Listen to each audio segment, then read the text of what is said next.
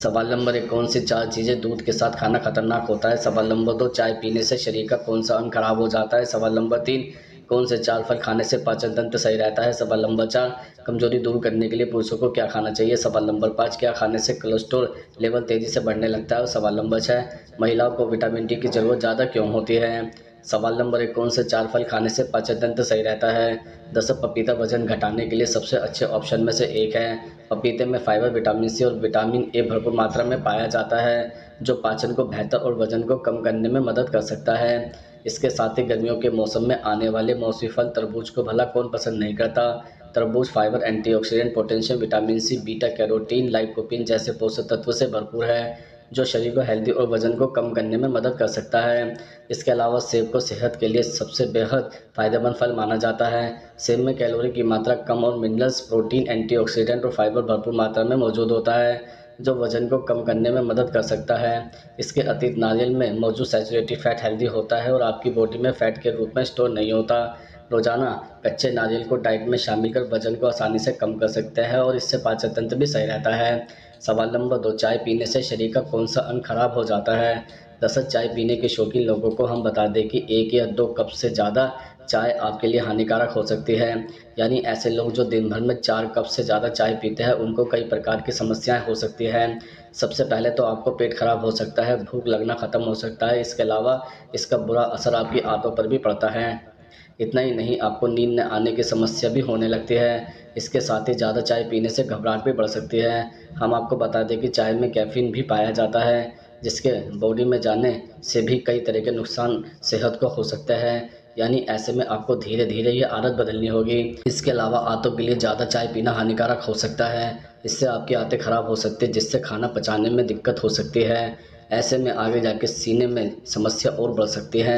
ऐसे में सीने में जलन की शिकायत भी हो सकती है। इसके अलावा ज़्यादा चाय पीने से नींद न आने की दिक्कत भी आपको हो सकती है। ऐसे में अगर आप पूरी नींद नहीं लोगे तो आपको तमाम तरह की दिक्कत हो सकती है। ऐसी स्थिति से बचने के लिए आपको चाय पीने की लत को छोड़ना होगा। कई रिपोर्ट्स में दावा किया गया है कि एक दिन में दो कप चाय काफ़ी होती है। सवाल नंबर तीन, कमज़ोरी दूर करने के लिए पुरुषों को क्या खाना चाहिए? दरअसल जैसा कि सभी जानते हैं कि पुरुषों के लिए छुआरा काफ़ी फ़ायदेमंद है। इसमें मौजूद पोषक तत्व के चलते आपकी बॉडी को भरपूर मात्रा में एनर्जी मिलती है, जिसके चलते वक्त से पहले सफ़ेद हुए बालों को काला किया जा सकता है। तो कोशिश करें कि आप इसे अपनी डाइट में शामिल करें। हो सके तो दूध के साथ मिलाकर इसका सेवन करें। इससे आपका बहुत फ़ायदा मिलेगा। इसके साथ ही मखाने भले ही हल्का सा हो, लेकिन आपकी बॉडी में जाते ही फ़ायदा पहुंचाता है। अगर आपकी बॉडी में अंदरूनी फीवर भी होता है तो इससे वह ठीक हो जाता है और आप पहले जैसे हो जाते हैं, जिससे आपका फ़िज़िकल स्तर भी मज़बूत होता है। इससे आप दूध के साथ भी खा सकते हैं। इसके अलावा दूध में भरपूर मात्रा में कैल्शियम होता है। इसके सेवन से आपकी बॉडी में ज़रूरी विटामिन मिलते हैं। मानते हैं कि अगर आप सोने से पहले एक गिलास दूध पीते हैं तो पुरुषों को कमज़ोरी नहीं फील होती है, बल्कि उसे शारीरिक तौर पर अच्छा महसूस होता है और आपकी शादी का रिश्ता भी बेहतर होने लगेगा। यानी इन तीनों चीज़ों को पुरुष चाहे तो अपनी डाइट में शामिल कर सकते हैं। इससे आपको एक हफ़्ते में ही फ़ायदा मिलने लगेगा। सवाल नंबर चार, कौन सी चार चीज़ें दूध के साथ खाना खतरनाक होता है? नंबर एक, दूध और मांस। दूध और मांस दोनों ही हमारे शरीर के लिए बहुत फ़ायदेमंद होता है। यह दो खाद्य पदार्थ हमारे शरीर को मज़बूत बनाता है, लेकिन यह कॉम्बिनेशन अच्छा नहीं होता है। विशेषज्ञों के अनुसार दूध के साथ मांस का सेवन नहीं करना चाहिए।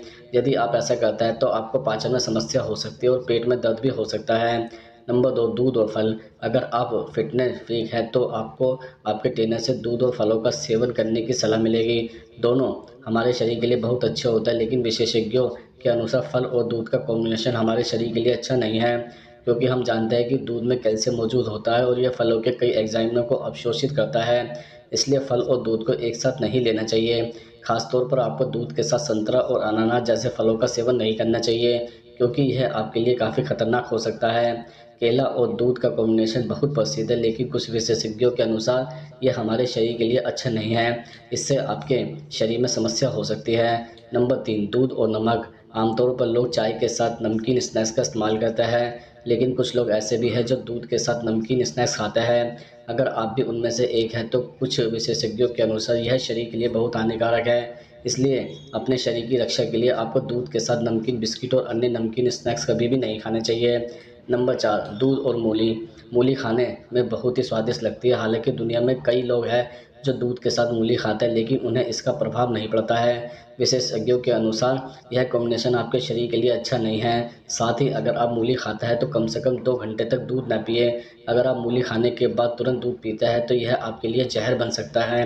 ऐसे में दूध आपकी त्वचा के लिए बहुत हानिकारक हो सकता है और आपको त्वचा से संबंधित समस्याओं का सामना करना पड़ सकता है। सवाल नंबर पाँच, महिलाओं को विटामिन डी की ज़रूरत ज़्यादा क्यों होती है? दरअसल विटामिन डी हमारे शरीर के लिए बेहद ज़रूरी होता है, क्योंकि विटामिन डी की कमी से हड्डियाँ कमज़ोर पड़ने लगती हैं। असल में विटामिन डी की कमी से सिर्फ़ हड्डियाँ ही नहीं, बल्कि heart failure, heart attack, stroke, मधुमेह तथा हाई ब्लड प्रेशर जैसी समस्या भी हो सकती है।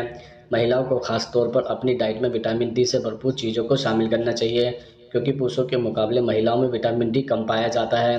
विटामिन डी की कमी के चलते महिलाओं में थकान, जोड़ों में दर्द, पैरों में सूजन जैसी दिक्कत नज़र आ सकती है। तो अगर आप भी विटामिन डी की कमी को दूर करना चाहते हैं तो कुछ चीज़ों को अपनी डाइट में ज़रूर शामिल करें। जैसे अंडे को प्रोटीन का सबसे अच्छा स्रोत माना जाता है, लेकिन अंडे के पीले भाग में प्रोटीन डी अच्छी मात्रा में पाया जाता है। अगर आप नॉनवेज खाती है तो अंडे को अपनी डाइट में शामिल कर विटामिन डी की कमी को दूर कर सकती है। इसके साथ ही फ़िश हड्डियों को मज़बूत बनाने के अलावा हार्ट को हेल्दी रखने में भी मददगार है। फ़िश में ओमेगा थ्री फैटी एसिड के अलावा विटामिन डी भी अच्छी मात्रा में पाया जाता है, जो हड्डियों को कमज़ोर होने से बचाने में मदद कर सकता है। इसके अलावा दूध, दही को विटामिन डी कैल्शियम और आयरन का अच्छा स्रोत माना जाता है। दूध का रोज़ाना सेवन करने से सिर्फ़ हड्डियों को ही नहीं, बल्कि पूरे शरीर को हेल्दी रख सकते हैं। इसके साथ ही हरी पत्तेदार सब्जियों में प्रोटीन आयरन और विटामिन डी भरपूर मात्रा में पाया जाता है। सब्जियों को डाइट में शामिल कर हड्डियों को मज़बूत और विटामिन डी की कमी को दूर कर सकते हैं। सवाल नंबर छः, क्या खाने से कोलेस्ट्रॉल तेज़ी से बढ़ने लगता है?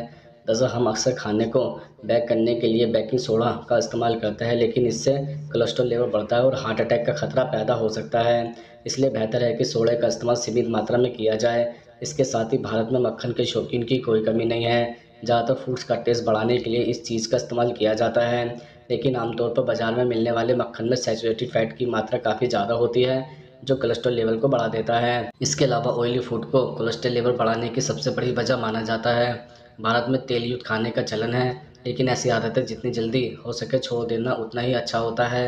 मार्केट में मिलने वाला डीप फ्राई फ़ूड भले ही हमें आकर्षित करता है, लेकिन सच तो यह है कि यही हमारी सेहत का सबसे बड़ा दुश्मन है। इसके अतिरिक्त बाज़ार में मिलने वाले ज़्यादातर पॉपकॉर्न में हाइड्रोजेनिक ऑयल होता है, जिसमें कैलोरी काफ़ी ज़्यादा होती है। इससे कोलेस्ट्रॉल लेवल बढ़ सकता है, इसलिए सबसे बेहतर यह है कि आप पॉपकॉर्न को घर में ही तैयार करें और सेहतमंद रहे। इसके अलावा मांस खाने से शरीर को प्रोटीन तो मिलता है, जो हमारे शरीर के विकास के लिए काफ़ी ज़रूरी है। लेकिन अगर आप प्रोसेस्ड मीट का सेवन करते हैं तो कोलेस्ट्रॉल बढ़ने के कारण हार्ट डिज़ीज़ का खतरा पैदा हो जाएगा।